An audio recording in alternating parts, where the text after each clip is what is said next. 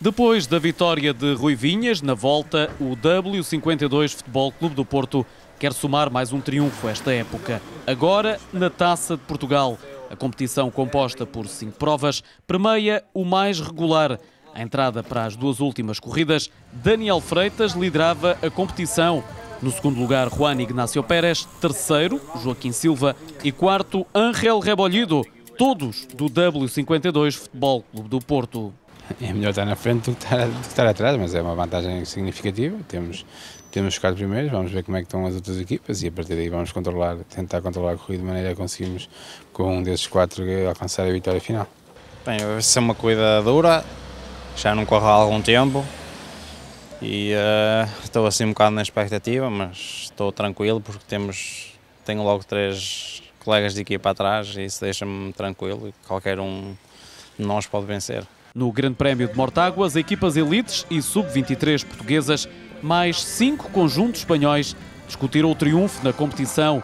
Vamos organizar este Grande Prémio de Mortágua pela 16ª vez e para nós é uma honra e orgulho uh, manterem esta, esta prova quase mítica já do, do, do, ciclismo nacional, portanto nas estradas.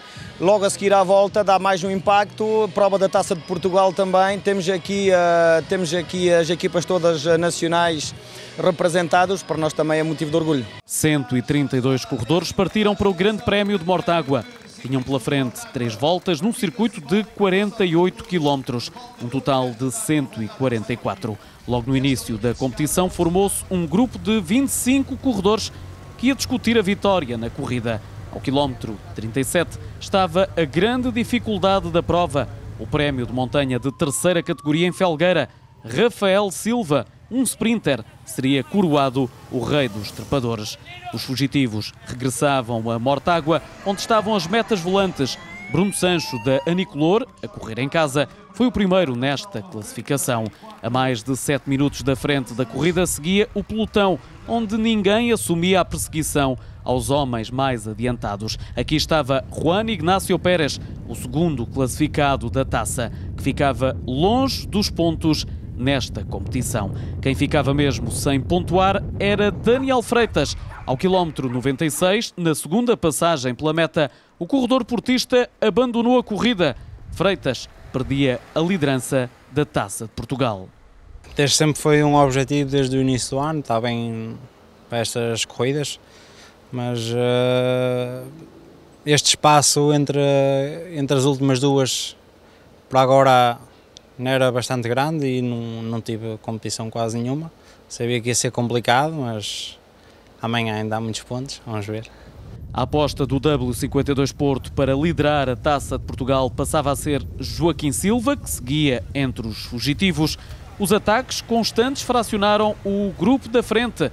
Formou-se um quinteto e, vindo de trás, Hugo Sancho passou pelos cinco da frente e acelerou para a vitória. O corredor da LA Alumínios Antarte de orgulho ferido, primeiro pela expulsão da volta a Portugal, por seguir agarrado a um carro, e depois, com a notícia da extinção da equipa dirigida por Mário Rocha, Sancho queria muito vencer esta corrida em casa. O corredor é natural de Mortágua e, conhecendo o terreno como ninguém, deixou para trás toda a concorrência e pedalou para a vitória no Grande Prémio da Vila, que o viu nascer. Depois de uma época de azares, o número 13 ganhou no dia 13 de agosto. Vitória de Hugo Sancho, emocionante e muito festejada em Mortágua repetindo o feito obtido em 2009, quando ganhou também esta corrida. Esta vitória tem um sabor diferente, em casa tem um sabor sempre diferente, mas depois dos últimos tempos eh, tenho que os recordar e foi mais emotivo ainda.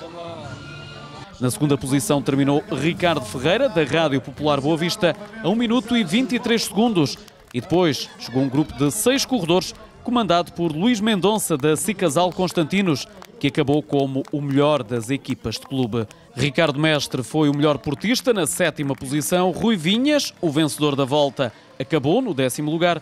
E Joaquim Silva foi décimo terceiro a 3 minutos e 10 segundos do vencedor, mas chegou à liderança da Taça de Portugal. É um terreno que me agrada e que se adapta às minhas características, torna-se um terreno bastante duro e, estou quase a competir em casa. Foram muitos anos aqui a treinar e, e já levo seis anos aqui a correr e tem-me calhado sempre bem. E pronto, uh, hoje, hoje consegui a liderança da taça, uh, agora é tentar mantê-la. Este domingo, Joaquim Silva vai defender a liderança na Taça de Portugal na derradeira prova, o Grande Prémio Anicolor, que arranca às 14 horas em Águeda.